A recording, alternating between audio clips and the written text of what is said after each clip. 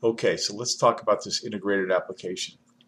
I'm going to begin it in the spreadsheet just to set things up, create myself a, a, trip expenses tab, and set up some things like when you plan on leaving returning, number of days and nights you're going to be there, and figure out some costs per day. Things like the flight, the car, the hotel, meals, and spending. Now, to calculate the flight, well, it's going to depend on the number of vacationers times the flight. I'm assuming one in this case, maybe two, we'll see. And uh, then when it comes to car, we're going to calculate the number of days times the price per day of a car, and that'll give us that. The number of nights times the hotel room, uh, recognizing that uh, days are typically, uh, days and nights will be the same on the trip, although your meals it may be one higher than that because the day is going to be night plus, or night, uh, night is going to be day minus one, is what it comes down to. Because typically there's an extra day of travel. So once you get this all done, same thing for spending. Once you calculate that out, we can then get a sum for the vacation cost estimate. You may have to, in some cases, convert from the currency of the other country to the U.S. dollar, depending on what it is you're uh, like your meals per day may be done in, say, British pounds, as an example. So when I put my best foreign city to visit, to live, to retire, you know, it's your choice. But uh, I'm going to choose London.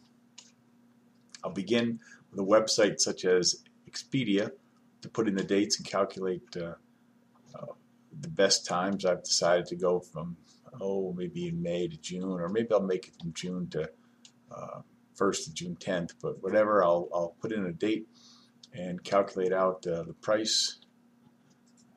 Now from there, I'm, I'm, starting to save this application, so I'll put it in uh, my uh, folder with my uh, section letter, my last name, first name, underscore, and the name of the city, or you can put the country, such as England rather than London.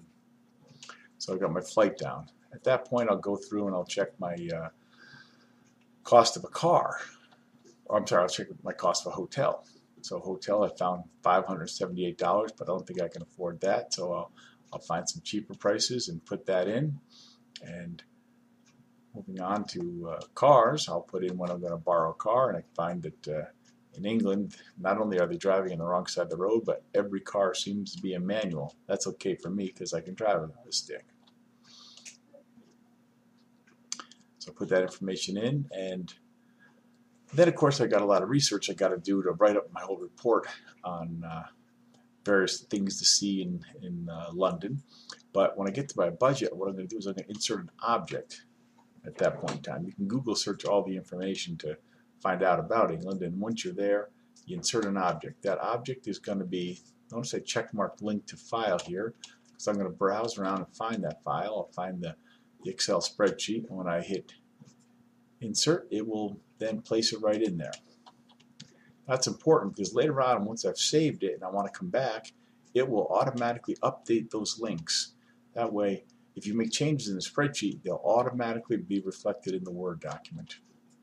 Same thing is for PowerPoint. Once you create a PowerPoint uh, based on your information you've learned, It'll also ask you to update the link, so don't be concerned that Microsoft Office has identified a potential security concern. That's just because Microsoft doesn't understand what a virus is because they get hit with them all the time. So you just hit update links and you can move on. And you'll get the same situation there. So you're going to create yourself a PowerPoint slide and include that budget uh, from the Excel spreadsheet into the PowerPoint. At that point, you can start your slideshow from the beginning and uh, enjoy once you're all done, of course, what you'll end up doing is saving the three files. That is your uh, section letter, last name, first name, and the name of either the country or the city. And you'll have a Word document, a PowerPoint, and an Excel spreadsheet. And all three of those you're going to drag to the Assignments in folder of Drive R to hand it in.